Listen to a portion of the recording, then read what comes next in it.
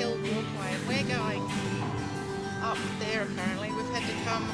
from way down there to get to the start but it looks fantastic and the views are going to be spectacular because we're only in the